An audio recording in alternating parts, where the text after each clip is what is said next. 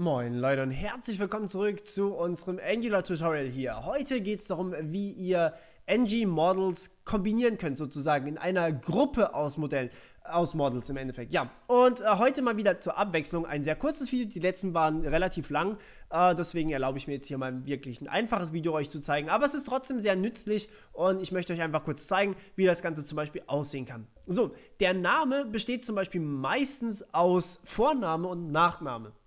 Ja, und was man stattdessen einfach machen kann, ist, hey, ich mache einfach Vorname und Nachname jeweils als ng-Model. Klar, aber das Problem ist natürlich, dann habe ich auch zwei Variablen, die ich irgendwie verarbeiten muss. Und deswegen hat man sich gedacht, okay, eine Gruppierung wäre eigentlich ganz cool. Und dazu gibt es den Tag FieldSet. Und der ist dazu da, damit man hier einfach ng-Model Group angeben kann, zum Beispiel Name und ja, dann landet hier natürlich direkt ein Field-Set und den hätte ich ganz gerne hier gehabt. So, und jetzt möchte ich hier zum Beispiel den Vornamen angeben. Vorname, Doppelpunkt. Und das ist der Vorname. Vorname. Und gleichzeitig möchte ich natürlich hier auch noch einen Nachnamen haben. Äh, okay, dann nicht. So, Vorname und Nachname.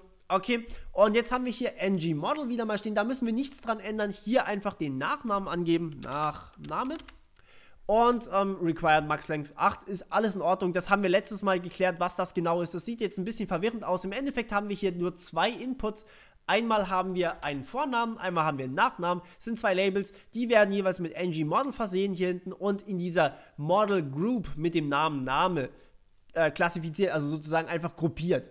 Und das Ganze sieht dann folgendermaßen aus. Wir können jetzt nämlich hergehen, ihr erinnert euch, wenn man das Ganze, ich mache mal hier die ganzen, ähm, die ganzen Anforderungen daran raus, damit hier erstens mal ein bisschen deutlicher ist, was jetzt hier wichtig ist und was nicht so und damit wir auch nicht so viel eingeben müssen nachher. So, okay, E-Mail brauchen wir sowieso keine. Gut, und wenn wir uns das jetzt auf der Website angucken, sieht das folgendermaßen aus. Hm, tu das nicht. Ach. Okay, dann ändern wir das auch noch kurz. Hier, äh, das machen wir ohne Background Color und das machen wir auch ohne Background Color. So, ähm, brauchen wir alles jetzt gerade nicht. Darum geht es jetzt in diesem Tutorial hier gerade nicht. Das haben wir letztes Mal geklärt. Hier haben wir jetzt Vorname, Nachname und ein Passwort. Und ihr seht erstens mal, ist es visuell zusammengruppiert. Das heißt, wir haben hier tatsächlich so eine kleine Border drumherum. Die müsste man vielleicht noch ein bisschen anpassen, damit sie nicht so ganz so hässlich ist. Aber man sieht, dass es zusammengehört. Ähm, das heißt, man kann das Ganze schön gruppieren in einzelne Unterabschnitte zum Beispiel. Und ähm, ja, ich mache jetzt hier einfach mal Cedric. Nachname mache ich mal Morpheus rein, einfach so, weil ich es kann.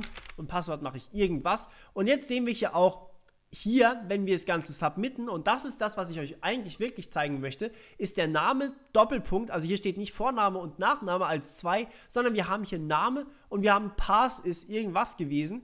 Aber beim Vorname haben wir halt einfach nochmal zum Aufklappen. Das heißt, wir können jetzt hergehen und einfach Name, Punkt, Vorname ähm, und Name, Punkt, Nachname im TypeScript machen. Das zeige ich euch einfach mal ganz kurz noch.